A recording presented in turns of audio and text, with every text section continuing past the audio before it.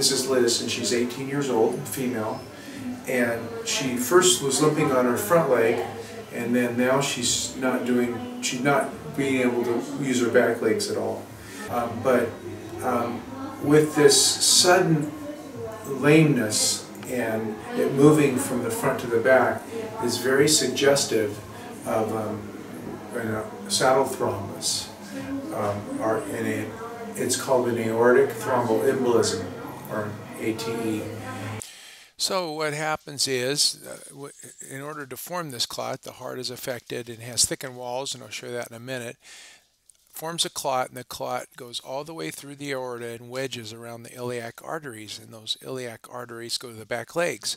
So the muscles will cramp up, the legs will feel cool, and the cat will be very painful and it actually pant. Some of them will pant and act in a lot of distress. Why does this happen? Is because uh, genetically some cats have a defective uh, area in the genes that allow the muscle to thicken. If you look at the two hearts in the illustration, one's got thin walls around the ventricles and the atrium, and one's got a very thick wall. That thick wall is uh, causes the left atrium not to really function very well, can't empty well, and blood clots will form up in that thickened atrium. In fact, it, these are uh, diagrams and then we can see the actual thickened muscle of a cat that died of the hypertrophic cardiomyopathy and you can see in the on the on the anatomical specimen there you can see a very thickened wall it's like a steak well the heart is a muscle right and it's a big thickened muscle that uh, doesn't allow the heart to pump right or work right and then they can throw these clots so, how do you diagnose something like this? Well, you know, sometimes the one of the biggest signs is it's very painful and the muscles cramp up. So, um, first of all, you might feel coolness in the leg, and then there won't be a pulse um, in the hind leg uh, like there should be, and I don't feel much of a pulse. Um, and if I press on the the, the, the muscles right here, they're, they're somewhat painful, but I don't want to do too much because Liz already told me they're pretty painful. So it's and it's happening in both legs. Both legs are cooler than the front. I know it does hurt, hon.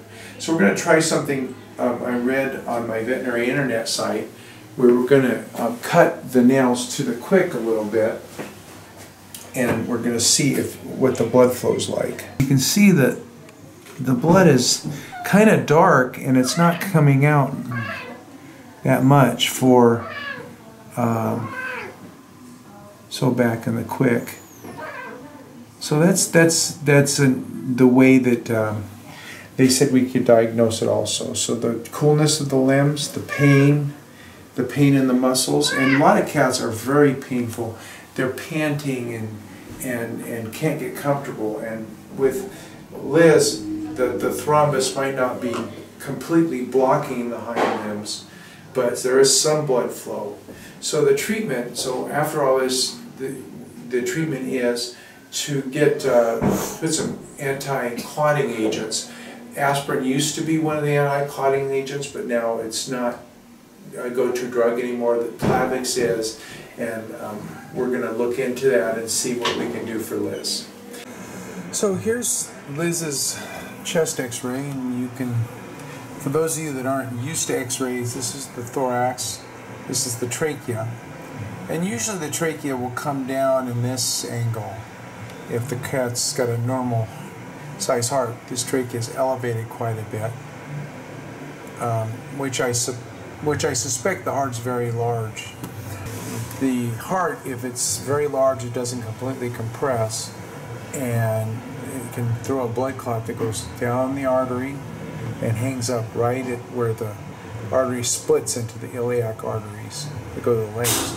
That's why Liz's legs were cooler and why they didn't bleed very much. So I gave Liz some furosemide to take some fluid out of the heart um, and also some diltiazem for the heart rate to get it down um, and then an aspirin for tonight, and then tomorrow we're going to start on Plavix. So also I'll show you the um, x-ray of the, the chest. And this is a weird shot. It shows some fluid in this side and not as much of this side. So that's a very odd thing. There could even be a tumor here or something.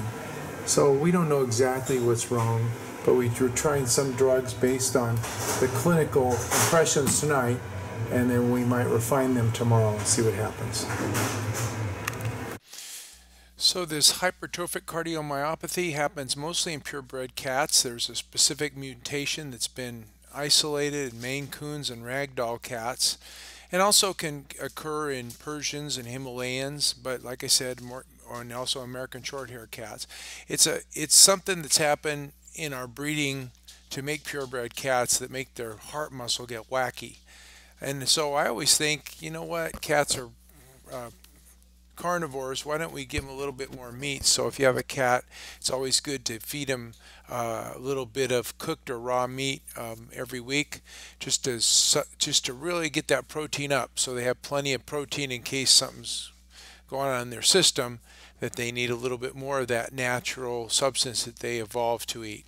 Anyway, so much for that. But uh, this uh, um, cardiomyopathy can happen uh, in a purebred cat, usually at a young age, um, because this kitty um, had it at 18 years of age. And in the x ray, we saw that one side of the lungs were cloudier than the other.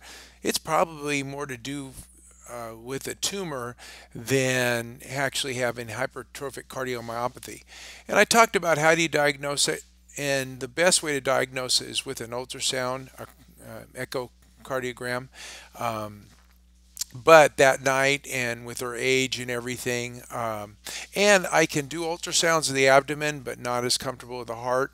However this one might have been easier but uh, i could pretty much can tell in an 18 year old cat that something was really wrong so we treated her the best we could. And uh, with the drugs we would use uh, for um, hypertrophic cardiomyopathy or in the saddle thrombus and if it was a tumor, of course, that wouldn't work. And true enough, uh, the next day uh, the cat was no better, and then the following day uh, still no better. So uh, the owner decided to not put it through any more suffering and to put it to sleep.